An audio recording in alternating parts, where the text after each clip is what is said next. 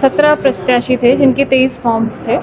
और आज तीन ने नाम वापस लिया है जिनमें असलम खान और देवेंद्र सिंह जी और धर्म सिंह जी। इन तीनों ने अपने नाम वापस लिए हैं। और अब कुल चौदह प्रत्याशी हैं। सिंबल सभी को दे दिए गए हैं और सभी को अपने प्रेफरेंस के हिसाब से सिंबल दिए हैं। नेशनल पार्टीज़ के सिंबल ऑलरेडी अलॉटेड होते हैं तो उनको उस हिसाब से।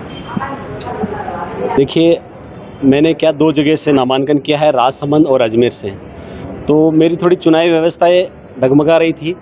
इस कारण से मैं राजसमंद से चुनाव लड़ रहा हूँ और अजमेर का फॉर्म मैंने वापस लिया है, क्योंकि यहाँ पर मेरी पूरी व्यवस्था नहीं बैठ रही थी मैनेजमेंट की। और रही बात अजमेर के लिए तो अजमेर के लिए मेरी लड़ाई लगातार जारी रहेगी। चाहे भाजपा हो, चाहे कांग्रेस हो, जो भी भ्रष्टाचार करेगा, जो भी अजमेर के लिए काम नहीं करेगा, हम बराबर उनका पीछा करते रहेंगे और अजमेर हित के लिए लड़ाई लड़ते रहेंगे। आपने जब आवेदन किया था तब बताया था कि आप दोनों को ही कर रहे हैं अब इससे आपके आवेदन उठाने से क्या फ़ायदा मिलेगा उनको? देखिए किस किसी नहीं मेरा कोई किस ना तो कोई मैंने भाजपा के पक्ष में उठाया है और न ही मैंने कांग्रेस के पक्ष में उठाया है न ही किसी अन्य के पक्ष में उठाया।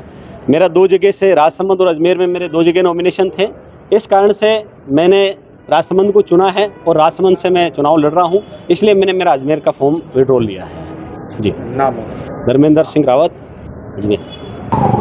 मैंने नामांकन पत्र भरा था निर्दलीय लेकिन आज मैंने उठा लिया वापस। ये हमारे कांग्रेस के युवा नेता हैं वाजिद भाई जो हमारे बड़े भाई हैं। हमारी संगठन के और पार्टी के ही कोई हमारे आपसी एक दो कोई छोटे मोटे इशू थे तो वाजिद भाई आए रामचंद्र जी की तरफ़ से। और हमारी बैठ के बात हो गई। इसलिए फिर मैंने मेरा नामांकन पत्र उठा लिया वापस। इनके फेवर में आपने वापस? कांग्रेस के। मैं खुद कांग्रेस ही हैं शुरू से ही। और मैं संगठन का आदमी हूँ। मेरे पास माइनॉरिटी जिला अध्यक्ष का पद है डीसीसी में सेक्रेटरी भी हूँ। फिर मैंने कांग्रेस के जो अपने प्रत्याशी हैं रामचंद्र जी चौधरी उनके पक्ष में मेरा फार्म उठा लिया। आपका नाम? मोहम्मद असलम पठान जिलाध्यक्ष अल्पसंख्यक कांग्रेस अजमेर।